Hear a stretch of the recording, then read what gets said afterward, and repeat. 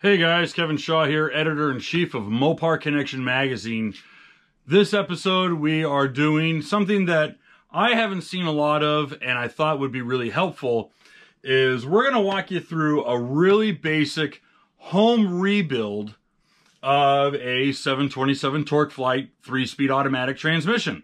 Like we normally do, we're going to be together with our friend Jim Hannon. Now, Jim spent a good portion of his career working for Chrysler rebuilding TorqueFlites.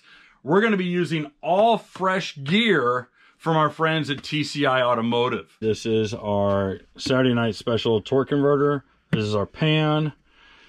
We have our kit to to change the valve body, to upgrade the valve body, and then our standard rebuild kit, and a whole bunch of fluid. Like, way more fluid than we'll ever need. We've got their new steels and clutches. We even got their Saturday night special torque converter, which bumps up the stall around 5 to 800 RPM over the stock stall. Really nothing crazy, but it will be enough to help us get this Fury to finally do a burnout for goodness sakes. So this transmission actually is a pretty low mileage transmission. We're pretty lucky. The fluid looks really good and we checked out the torque converter and so far everything looks from the outside really good. We had spent a couple days with some degreaser and knocking off all the mud and all the scaling that was on it. We passed it over with the wire wheel as you can see. Really tried to knock off some of the ugliness. Now, mind you, we need to go through with a wire brush and go through the tighter spots and knock all this stuff off. We're not making a beauty queen by any means, but it's nice to get all this aluminum scaling off because again, this, this is corrosion. That's how aluminum rusts. So you get this really chalky scaling that builds up. Right now, we're going to try to disassemble some of the little stuff. We're going to take the cooling lines off, take the torque converter out, grab all the hardware that's still on it. We're going to get the speedometer gear out and just take some basic stuff off. It's still full of fluid, so it is going to be a little messy. But again, that's one of the downsides of building your own transmission is you're just going to make a mess. So you think the easiest way is me bear hugging it? Dump it out.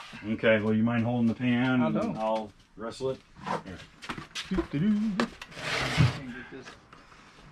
Best thing about having a rebuild table. Okay, here we go. All right. All right, move the pan. You don't get much. No? Well, then, yeah, a couple doors. You got a little running in it, All right. for a low mileage, 34,000 mile transmission, 34,000? somewhere in that area. Yeah. That's really low mileage. yeah.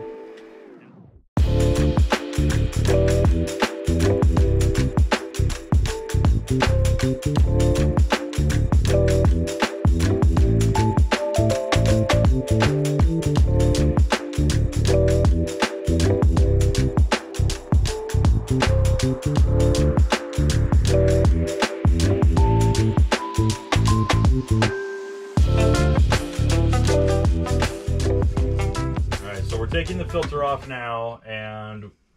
Jim is exposing the valve body, and we're just going to give a quick overview of everything that we got so far.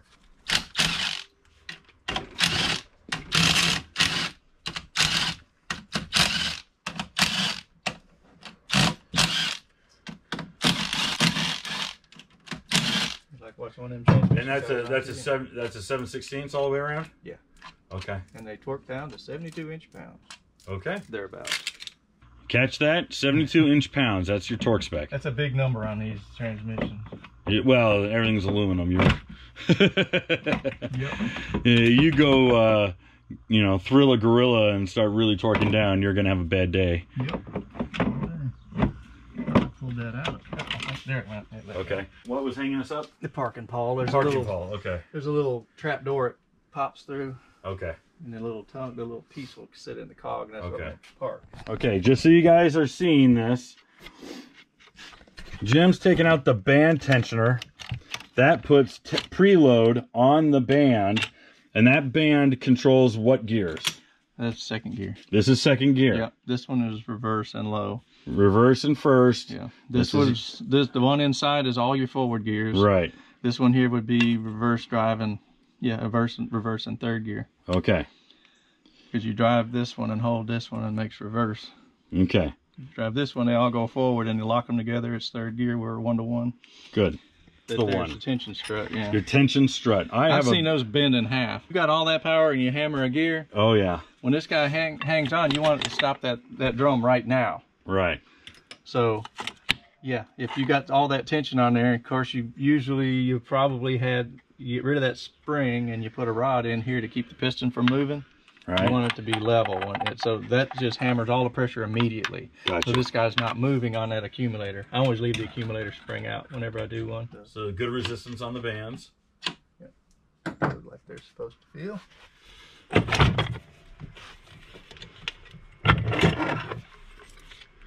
All right. One front pump. Now, is there anything to observe on that? Just Well, there's you could take this off and look in it and make sure there's no okay. ugly spots in the, in the gears. So now we're gonna look at the drums. We're gonna pull everything out. Pretty good. Well, and that fluid up in the clutches in a while. They're just dry looking. All right. What's our band? That looks good. Really? No discoloration. Okay. I like the ones that are more vented than these little holes. Okay. That have the slots cut in them because that they apply quicker. Okay. You don't have it floating. This would be the front clutch. All right. There's a little dark in there, but I won't know till they're apart. It should just come apart. It's just got a little light wave spring in it. Okay. Yeah, they're not. You're not going to muscle it. No, that one I'll have to press down. Okay. How we Four got some, clutches We got and. some heat in this one. Okay. All right. You flip it over, and now you got a new side. Uh, Oh, okay. That's how you do that. But okay, we They are burned right there. A little bit. It's not. It's not as bad as it could be. All Okay. your steels are burnt. Of course, you get them anyway. Well, we got new steels. Yeah. Okay. So, So important one. Four are- clutches and five steels. Yep. Okay. And this isn't in terrible shape. We might take a little emery and ease on it, but you don't want to do too much. Okay. Anyway, All right. that would be the front clutch. The fun part's getting under it. Okay. It's a wavy looking ring and it's thin. Okay. Okay, I'll just set that with that. This got a spacer in it. Usually that spacer never does live. Oh, really? I've rarely put them back in, but it's Okay. here, so I'll reuse it. Inner and outer seals. So you just pulled the piston out Mm-hmm. and lip seals in it. okay. And usually when you test the lip seal, you stretch it and you see how long it takes to go back, which these are really not in terrible shape. Okay. It doesn't go completely back, so I mean, they're old. Right. And then you got one inside too. I usually leave them in until I'm ready to use them. That way you don't. So this is all factory equipment. This has never Yeah, been apart. It's pretty much a. Timepiece. Yep. oh, somebody's already left some springs out. They build them the way I do. Oh yeah.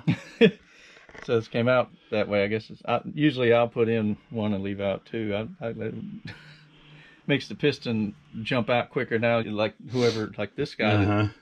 wanted it to have a little bit better feel in third gear. That's what this does. It just takes less effort for that piston to pop the clutch on. Yeah, this would be second or this. Well, you hold this one in second. Right. You drive this one in reverse and third gear. Okay, so these would be effectively our third gear Right. clutches This is high gear. Okay. And reverse. So we're looking at same amount of clutches and seals or different count?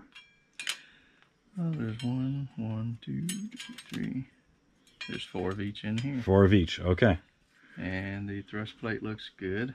Like I said, anytime you have some discoloration, this one's not bad. You can always use the other side. All right. And they are selective. I'm spinning it this way, using the clutch to turn Uh-huh. the sun. Goes that way, but if you spin it this way, it goes the other way. That would be first gear. All right. And then you hold this for a second, it goes a little faster, and then that makes it one to one. Okay. That's, that's your power flow.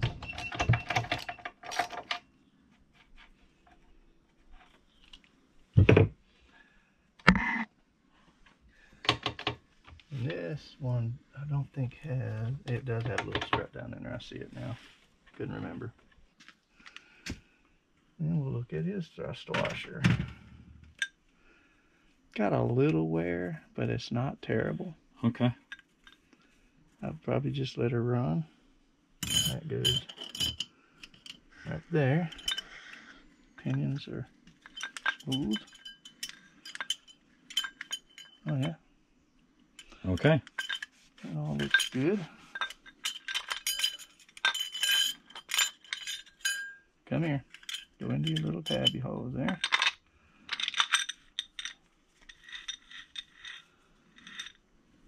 All right. Set you there.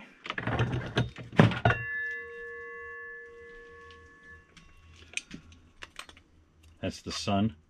Yeah. That's really nice. Oh yeah. Good. Yeah, these both right here are in just super, super good shape. There's not a whole lot of thrust there if you don't do, No. like, you're not pulling a trailer or none of that kind of jazz. Okay. Oh. That, It came apart. Sprag, huh? Yeah, that came apart. Yeah. Sometimes it happens, sometimes it don't. There, Oh, right. yeah. You just got to restack it, put it Oh. together. I'm trying to get the first gear band out. We low reverse. Low reverse. Low reverse band. Okay. Yeah, when, when you have it in low drive, Mm-hmm. the band is applied but ineffective because this is holding. Okay. And when you pull it in first gear, the band comes on, and that's what rips this out. It tries to spin it the wrong Alright, way. So you neutral drop it. That's what you're doing. You're hurting stuff. Yeah, it's, it's uh, not the best of practices. All right. So we got it vertical. You got everything gutted out of it. You're taking the cone out, and we're taking the sh- output shaft, right? Yeah. Okay.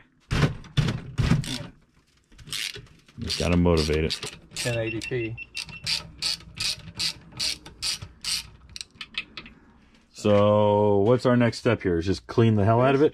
Get it all cleaned out good. Yeah. Okay, because we're not changing any of these. Now I, I could take this pin. Right here, that is your pin for this, and there is an O-ring, Yep. and it may leak out of there. So be aware that that might be your issue. Gonna get a better shot of that. Here we go, right there. Okay, Yeah, that one's never been pushed out, but it, it you, you take it from this side and you right. it'll put it'll move. So All right. So what's our next step here? We want to just hose it down. it's gonna need to get clean good. That's the Okay. biggest thing. Should we take this- it out back or and shoot it with degreaser and? You just give it a good going up. All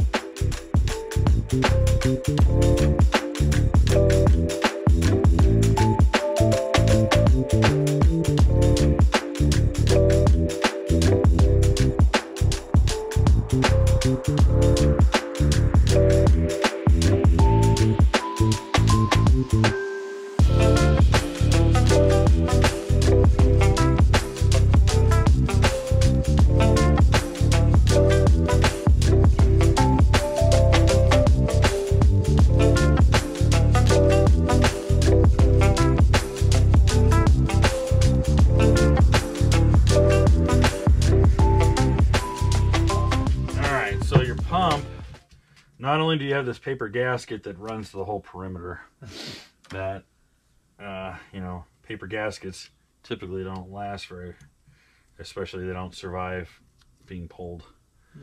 But you also have this O-ring that needs to pop out. We'll get a little screwdriver and pry that out. So we're kind of skipping rebuilding the pump just because how clean our transmission looked. I just need I just need that damn car to do a burnout. That's right now my standards are real low.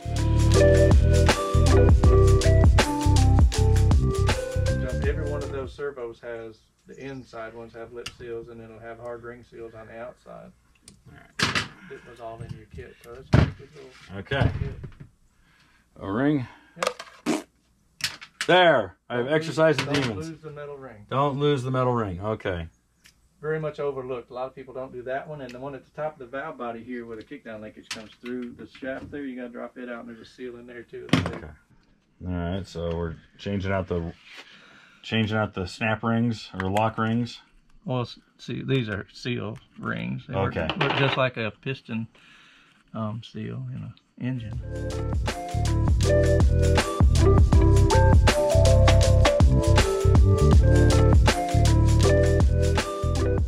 This I'm going in with this drum. Oh, okay. We can stack the whole gear train right now and then Okay. do the clutches last. Okay. Just get my angle right on this band here.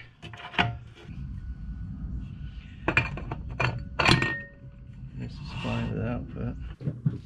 It'll just be out of the way. Goes one way, not the other. That's what we want. Ta-da! Okay. This rings like a bell. Yep. Kind of gets it off of the table.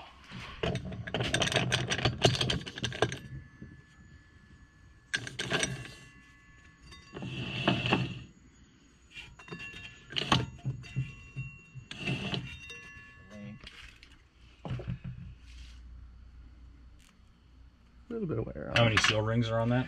There's two. There's two seal rings. Okay. One of them is interlocking.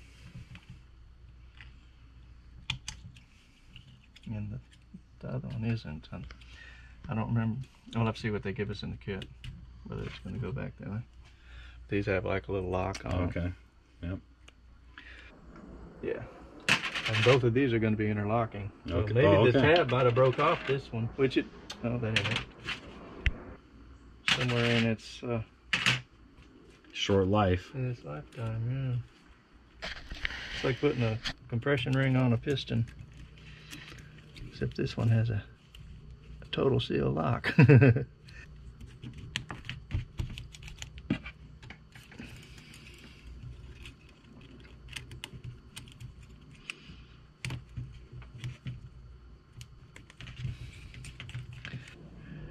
Because these rings here will seal on this.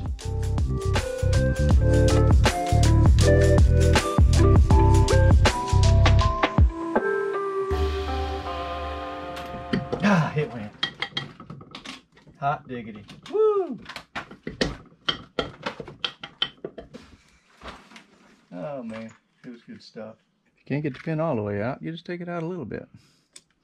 Oh, there you go. Yep. Hey, I guess that is that one. Okay, cool. I was wondering what that one fit. I'm like, I can't remember where you go. There it is. I can do it out of the car. I mean, I can do it the other way. Hey, I bought these snap ring pliers for the sole purpose of setting that snap ring back down. now that it's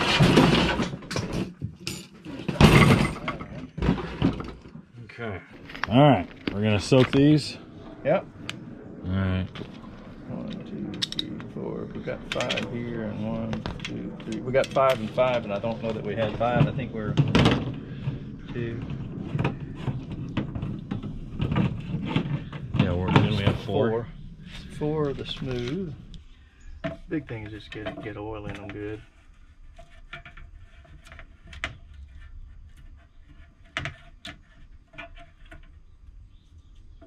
All that's gonna do is just get into the paper. All right. See what the heck they gave for. to me. So it's gonna change all of our spring rates. It's gonna give us, you know, different patterns to Yep. change the actual valve body. This kit contains all parts necessary to obtain three levels of performance depending on intended use. Yep. Heavy duty, street, and competition. Yep. I'm not interested in competition. We do like the street. Smells like Dextron. I didn't taste it. I'm not that guy.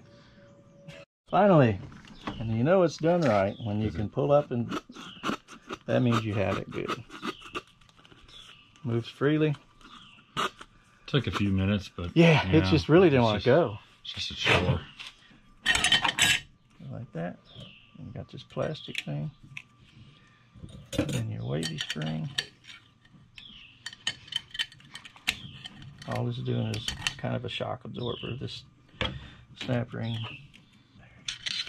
It was fun to get out, I remember. Mm. Fun, not like a theme park fun, but why won't you go? This went nice. Come on. There's our pressure plate, and you got a reaction plate at the top. So these pieces will change out.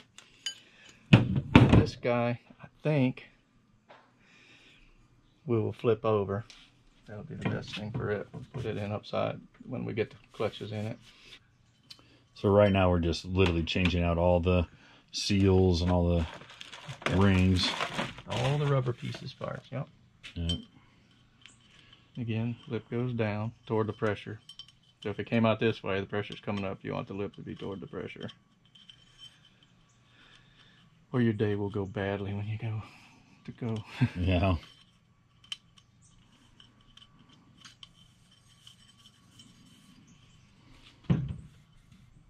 Need a pick.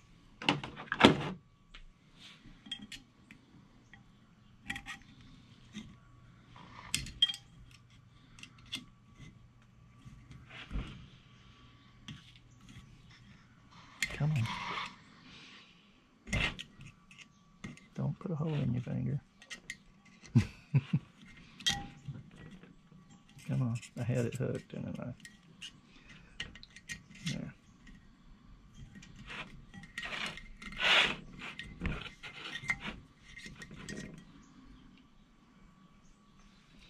That must be you. And this one's easy to get rolled if you don't watch what you're doing. You gotta you gotta roll it into place. as long as it's in the, in the groove straight, everything will be all right.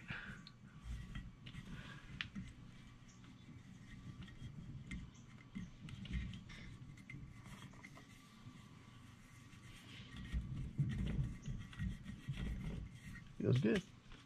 I'm trying to drip this all down in here to keep the fluid kind of.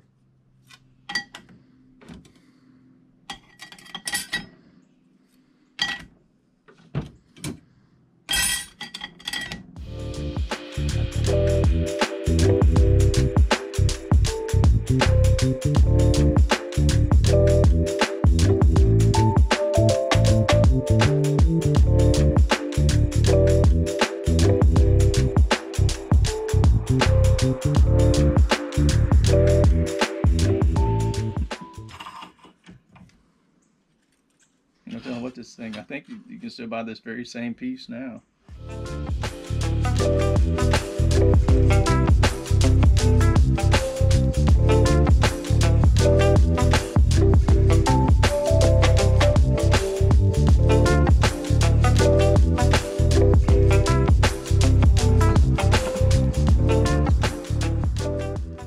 That's a good one done. All right. Let's see if we can get all five in this one too.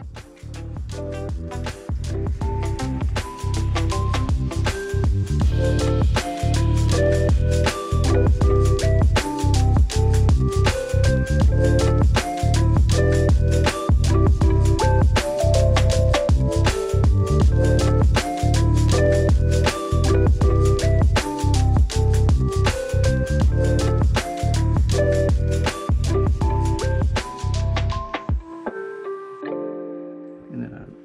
I, it would hold itself. That's what you want to hear.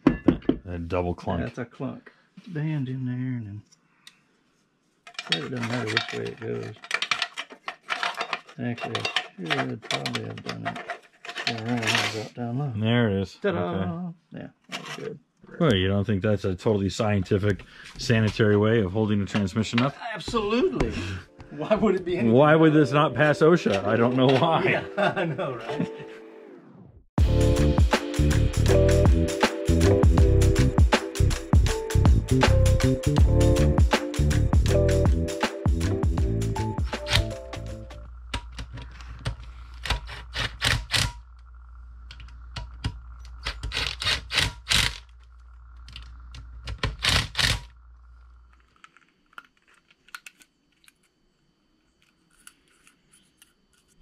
Come on, you're almost there, you little bugger. There you are.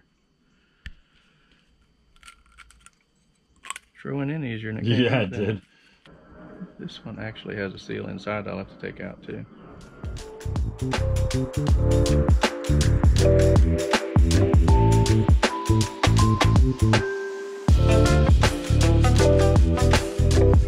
Yep.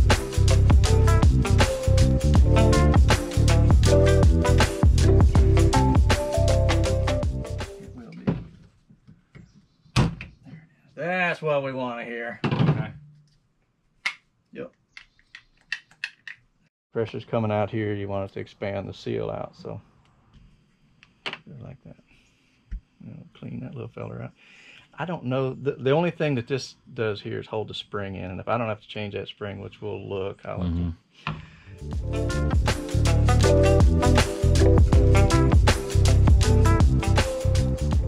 That guy's finished. Now we got all our servos done. Yeah, went right in. Yeah, amazing.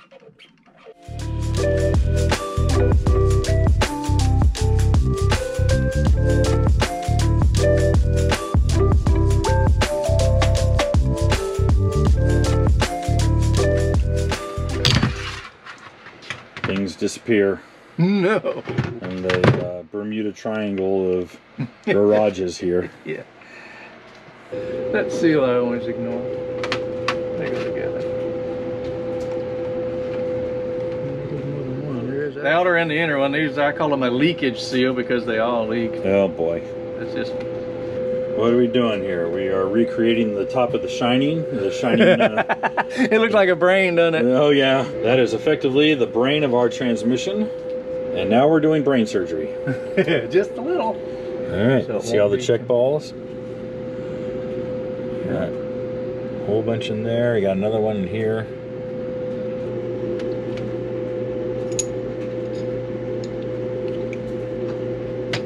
Right. I thought I was dumb for laying them out like they came out. That's how I usually do it.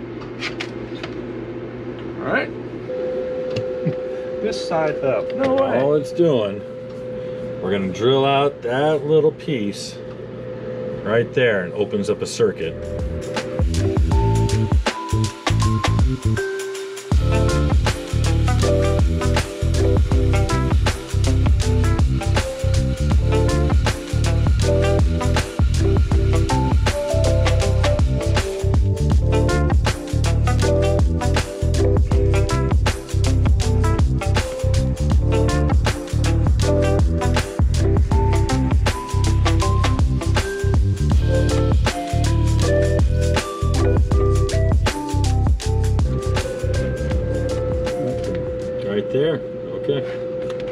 That would be the one, two shift valve governor plug. All right, let's show them.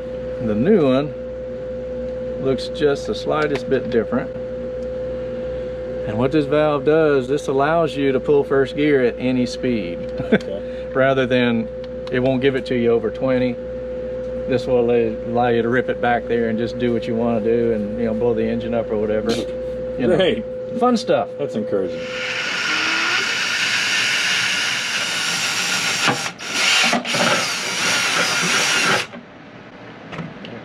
We'll need to deburr that before we put it all together. All right. So here's the question. How many extra parts are we gonna have when we're done? I, I'm going to plead the fifth on that.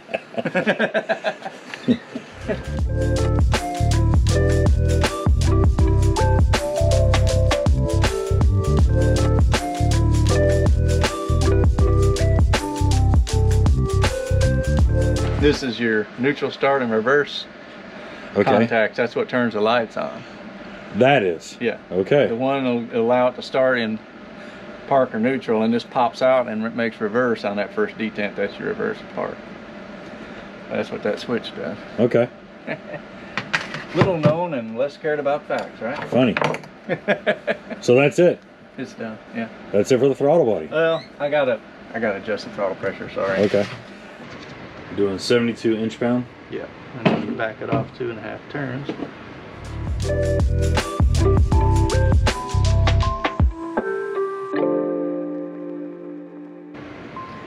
Mine I leave a little tighter than that, but this ain't mine.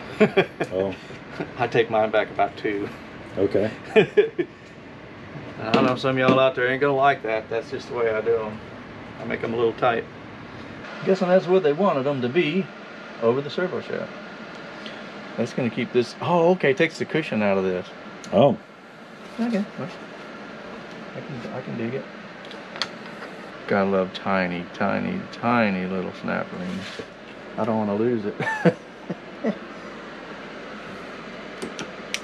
really? It was that easy? You saw me fight with the other one, right? It just popped right on, huh?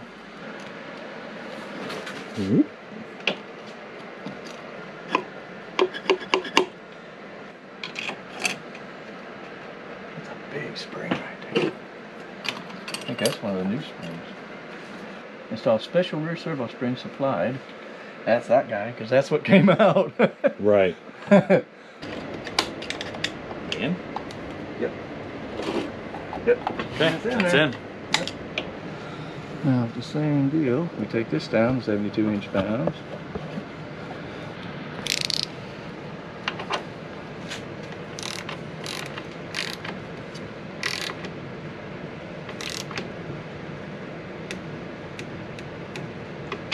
That's 72 inch pounds. And then I'll use this guy to take us back. Three and a quarter, really? 904. Two and a half, okay. Make sure it doesn't turn, which it's not. Uh, trying to turn just a tiny bit there. Gotta go slow with it. That's usually how I check them before I tear them down. I pull the levers and just see where the band adjustments are. That's good.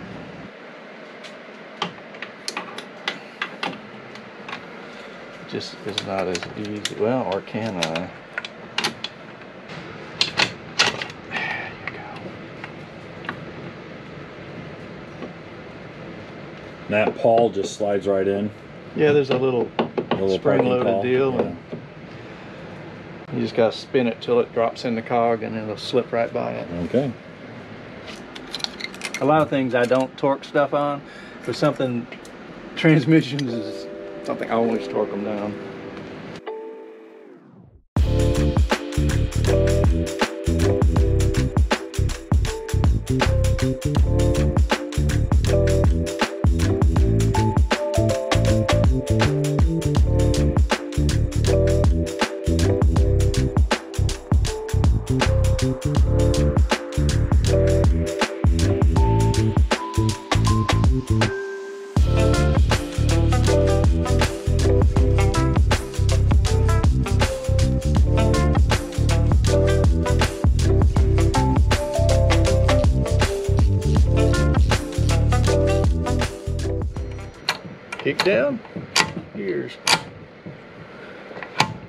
It's in park. Okay.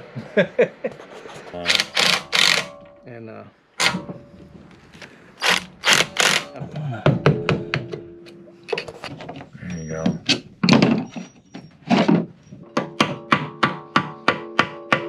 ta-da! Went in a lot easier than uh, coming out. Oh gosh.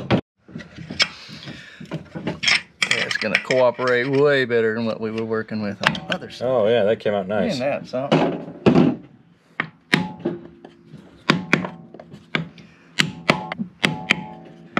Hadn't done it in a long time, so I figured, hey, let somebody else. Right. And that is how you rebuild a 727 TorqueFlite in your garage Yeah. using a basic rebuild kit and uh, a TCI shifter kit. Yep. And went through and did a pretty good rebuild. That'll be good for Marsha. And until then, I'm Kevin Shaw, editor in chief of Mopar Connection Magazine. If you enjoyed this video, please give it a like, leave a comment, and maybe share it with your friends. Help us grow the channel. And if you want more awesome Mopar content, why don't you check us out at www.mopar Connection Magazine, where new articles are written and published every single day, Monday through Friday, entirely subscription free to you.